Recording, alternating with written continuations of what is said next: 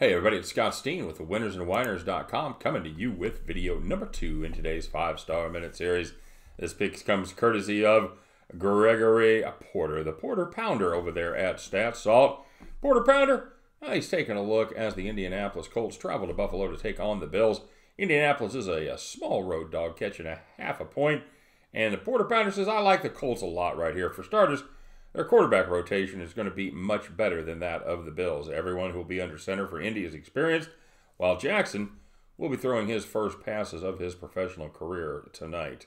Uh, Kelly was electric in the preseason last year, so I expect more of the same here. I give Indy the decided edge at receiver and running back as well, so this should be an easy win for the visiting Indianapolis Colts. So get yourself down on the Colts, pick up that half a point, pick up a hook while you're at it and at the end of this contest, you can join the Porter Pounder as you both head back to the window. Good luck, everybody, and we will see you on the next video.